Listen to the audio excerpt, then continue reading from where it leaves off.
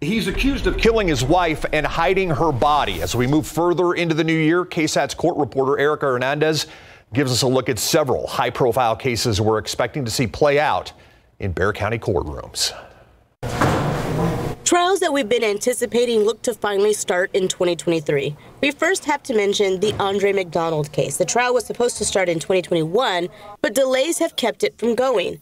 McDonald, an Army major in 2019, is accused of killing his wife, Andreen McDonald, and disposing of her body in North Bexar County. As of right now, jury selection is set to begin January 17th. And right after the McDonald trial, the Emond Johnson trial is expected to begin in February.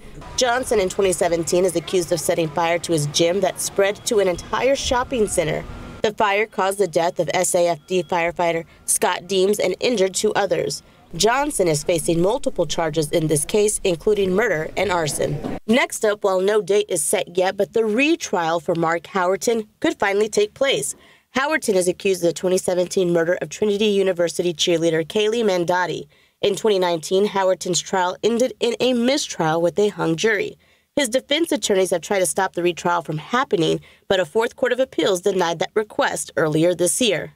Also, a case to watch is that of Andrew Elizondo. If you remember, on Mother's Day in 2021, a six year old girl was killed as her mother drove away from a car club gathering.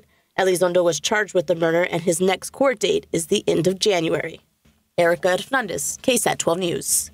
Now, all these upcoming dates can always change as resets can be granted or a surprise plea takes place. You can stay up to date on all our court coverage by signing up for our open court newsletter on ksat.com.